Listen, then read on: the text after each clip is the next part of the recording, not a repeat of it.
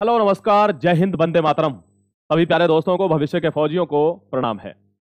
प्यारे साथी, आप जानते हैं, एसएससी जीडी में चार पाँच प्रश्न ही अभी चर्चित में हैं। क्योंकि आपको पता है, ना अभी फ़िज़िकल की कोई डेट है, ना कोई एक दो वायरल नोटिफिकेशन आया है वो भी फेक था। तो ऐसा कोई एज सच न्यूज़ चल नहीं रही है। बहुत ज़्यादा कोई हार्ड एंड फास्ट न्यूज़ नहीं है कि भाई ये ऑथेंटिक है, ठीक है? और जब तक ऑथेंटिक न्यूज़ नहीं होगी, तब तक वही चीज़ सत्य रहती है जो पुरानी थी। आपके दिमाग में भी ये चार से पाँच क्वेश्चन होंगे। कट ऑफ़ तो सबको मिल चुकी है। सबने देख भी ली होगी, नहीं देखी है तो देख लीजिए, अभी आपके पास बहुत वक्त है। जिसकी भी आपको पसंद हो, ऐसी बात नहीं है कि कोई पर्टिकुलर की ही, आप देख लीजिए जहाँ भी आपको ठीक लगे और आपको लगे कि हाँ ये मुझे सही लगती है, उसी पर आप यकीन रखिए, लेकिन खुद पर यकीन ज़रूर रखिए एक बार। फाइनल आंसर की बहुत जल्दी आ जाएगी। अब देखिए, ऐसा ज़रूरी नहीं होता है फाइनल आंसर की, अब इस प्रोसेस के जस्ट बाद आ जाएगी, ऐसा ज़रूरी नहीं है, ठीक है? ध्यान रखना, लेकिन बहुत जल्दी आ जाएगी, ये कन्फर्म है। इसकी कोई ना कोई इंफॉर्मेशन आपको दो से तीन दिन में देखने को मिल जाएगी फाइनल आंसर की। फ़िज़िकल एक्सपेक्टेशन वही, जो पहले बोली थी, वही सेम चीज़ है। ध्यान रखना प्यारे भाई, मई के महीने में अभी यही है। जब तक कुछ नहीं हो जाता, तब तक जून में नहीं कूदेंगे। अभी मई का ही रखेंगे, क्योंकि बहुत से एग्ज़ाम इस समय भी हो रहे हैं। ऐसा नहीं है, सब कुछ ही पोस्टपोन्ड हो गया। एसएससी के मोस्टली एग्ज़ाम पोस्टपोन्ड हो गए। ये भी this is one of the SSC exam also लेकिन अभी इसकी कोई भी ऐसी खबर नहीं है कि ये पोस्टपोन्ड हुआ है। लगता भी नहीं है, लेकिन चुनाव का जैसे हवाला दिया जा रहा है कि चार तारीख तक तो लगभग जैसे कि विश्व युद्ध में मतलब अकाल पड़ गया, यानी इमरजेंसी लग गई है कि चार तारीख तक कुछ होगा ही नहीं, जून तक। तो उस केस में कुछ हो जाए तो कोई खबर होगी, मैं आपको ज़रूर बताऊँगा। रिज़ल्ट कब तक आएगा? रिज़ल्ट तो डेफिनेटली आ जाएगा। आप टेंशन मत लीजिए, मई। है ना? मतलब मई के ही महीने में रिज़ल्ट आ जाना चाहिए। हंड्रेड परसेंट तो मई के महीने में ही आ जाएगा। लेकिन अब फिर को कहते हैं ईश्वर इच्छा बलिए सीधा गॉड्स विल बी डन। यानी एक एक्सपेक्टेशन रहती है, जैसे हम चंद्रमा वगैरह पे पहुँचते हैं, वहाँ की भी एक कैलकुलेशन रहती है, लेकिन क्या होगा उसके साथ वो तो फिर ऑन द स्पॉट ही पता चलता है। हालाँकि एक्सपेक्टेशन मई की ही है कि आपका रिज़ल्ट मई में ही डिक्लेयर हो जाना चाहिए। फ़िज़िकल कब होगा? फ़िज़िकल तो थोड़ा सा बाद में ही होगा। रिज़ल्ट के ये सभी जानते हैं आप।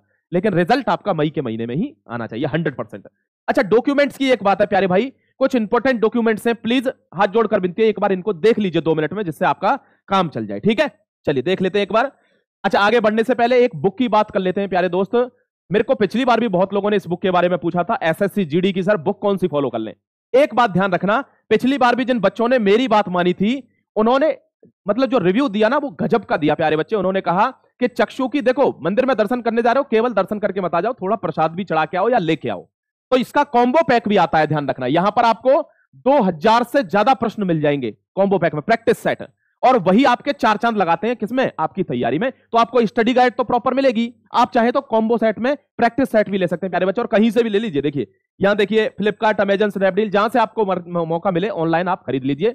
One of the best book है for S S C GD specially तो जिन्होंने पिछली बार बात मानी थी, वे कहीं ना कहीं वर्दी में है। तो आप भी मानेंगे तो भगवान की कृपा आप पे भी रही तो आप भी वर्दी में आओगे, ठीक है? तो यहाँ से आप ले सकते हैं, प्यारे बच्चे, और सारे सब्जेक्ट्स की आप यहाँ पर, चारों सब्जेक्ट आपके जीएस मैथ रीजनिंग हर चीज़, ठीक है? चलिए, मैं आपको डॉक्यूमेंट के बारे में बता रहा था, देख लीजिए एक बार डॉक्यूमेंट और आपको ये डॉक्यूमेंट कैरी करके ले जाने, चाहे जो हो जाए, ठीक है प्यारे भाई? देखिए यहाँ पर। डॉक्यूमेंट देखना दोस्त एक बार। सबसे पहले तो आधे बच्चे इसको ही भूल जाते हैं। और सुनो, ये अतिशोक्ति वाली बात नहीं है। कहते हैं, भाई, चुनाव तो हर बार होता है सर, फिर क्यों बताते हैं? वोट डालिए वोट डालिए, क्या हमको पता नहीं है, वोट डालिए। प्यारे बच्चे, पता है, लेकिन उस दिन बच्चे भूल जाते हैं, जो वोटर होते हैं, वो दो चार लोग उस दिन भूल जाते हैं कि आज वोट है। इसीलिए ये चीज़ें रिपीटेड मोड में बतानी जाती हैं कि एडमिट कार्ड ज़रूर लेकर जाना, बच्चे इसको तक भूल जाते हैं डॉक्यूमेंट वेरिफिकेशन में। एक आपको टेंथ की मार्कशीट लेके जानी है प्रमाण पत्र उसका जो पासिंग सर्टिफिकेट जिसको बोलते हैं, और उसके बाद मोर मोर मतलब कुछ बच्चों का प्रश्न होता है, सर, मैंने तो बीए किया हुआ है, इसमें आपने टेंथ की मार्कशीट लिखी है। प्यारे बच्चे twelfth graduation post graduation PhD जो भी आपने कर रखी हो टेंथ की मार्कशीट प्रमाण पत्र होना चाहिए, उसके बाद आप कुछ भी ले जाइए, सब मान्य है। ठीक है? हायर एजुकेशन में कुछ भी लेके जाइए, लेकिन ये होना चाहिए, यहाँ से मिलाएँगे वो जो कुछ भी आपके नाम नंबर पापा जी का नाम, मम्मी जी का नाम, इधर से देखते हैं। ठीक है? तो मिसाइल मतलब मूल निवास आपके पास होना चाहिए, और सबसे ज़्यादा मतलब पाँच हज़ार से ज़्यादा लोग इस मूल निवास में निकले इस बार ये ध्यान रखना। भैया घपले में, क्योंकि बिहार वालों ने, वेस्ट बंगाल वालों ने इधर उधर के बना के किसी दूसरे स्टेट में अप्लाई कर दिए बहुत बच्चों की नौकरियाँ वो खा गए बहुत तगड़ा इस पर एक्शन हुआ है। हज़ारों लोग अपनी नौकरी गवा चुके हैं। आपसे मेरी रिक्वेस्ट है, आपके बड़े भाई, छोटे भाई, जो भी मानो, उसके होने के नाते कि ये चीज़ की गड़बड़ी आपको नहीं करनी है। किसी भी कीमत में नहीं। ठीक है? प्रमाण पत्र अपना बिल्कुल जेनुअन रखना है जिससे आप भारतवर्ष के लिए सेवा भी जेनुअन तरीके से कर पाओ, वरना हर समय धक्का धक्का लगी रहेगी कि कहीं जाँच ना हो जाए, कहीं ऐसा ना हो पिछले वाले की तरह मेरी जॉब भी चली जाए। ऐसा नहीं होना चाहिए। कास्ट सर्टिफिकेट, जाति प्रमाण पत्र आप सबको लेकर जाना है। ईडब्ल्यू e वाला भी इकोनॉमिकली वीकर सेक्शन वाला आपने लगाया होगा तो ईडब्ल्यू e ओबीसी का और एसटी का एससी का। चारों में से किसी भी कैटेगरी से आप हैं तो लेकर जाना है। अनरिजर्व यानी जनरल वालों को कोई भी सर्टिफिकेट नहीं चाहिए होता है डॉक्यूमेंट में अपना जाति का। ठीक है?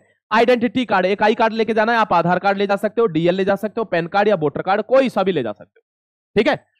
बाद में तो जब कुछ भी नहीं होता तो कॉलेज के आई कार्ड भी चल जाते, लेकिन अभी नहीं चलेंगे, सरकारी नौकरी है तो आपको एक परमानेंट आई कार्ड आप पे होना चाहिए। बेस्ट ये है, आधार लेके जाइए आप, ठीक है? ओरिजिनल अब देखिए, ये सबसे मोस्ट इंपॉर्टेंट लाइन है, देख लीजिए एक बार। ओरिजिनल सारे डॉक्यूमेंट्स आपके पास होने चाहिए, जो ऊपर लिखे हुए उसके साथ एक सेट इन डॉक्यूमेंट्स का आपके पास फोटोकॉपी होना चाहिए, और वो सेल्फ अटेस्टेड होना चाहिए, यानी अपने आप से साइन किए हुए होने चाहिए। उसके बाद एक सेट ले जाना जिस पर कुछ भी नहीं होना चाहिए। मतलब केवल फोटोकॉपी होनी चाहिए, उसको लेकर जाना। अगर उनको ज़रूरत पड़ेगी, वो रख लेंगे अटैच करवाएँगे तो वहीं के वहीं अटेस्ट करना। ठीक है भैया? और रही बात फ़ोटोज़ की तो 10 से 12 फ़ोटो हमेशा रखिए अपने पर्स में। हमेशा। यही इंपॉर्टेंट डॉक्यूमेंट से कोई भी ज़रूरत पड़ेगी, आगे मैं आपके लिए वो वीडियो छोटा सा और बना दूँगा। ठीक है? अपना ख्याल रखिए, खुश रहिए, कोई भी नई इन्फॉर्मेशन आएगी अब जीतेंगे कि शॉर्ट्स को फॉलो करते रहना शॉर्ट वीडियो में आपको वो इन्फॉर्मेशन मिल जाएगी। Thank you very much till then take care bye bye I see you in the next video thanks a lot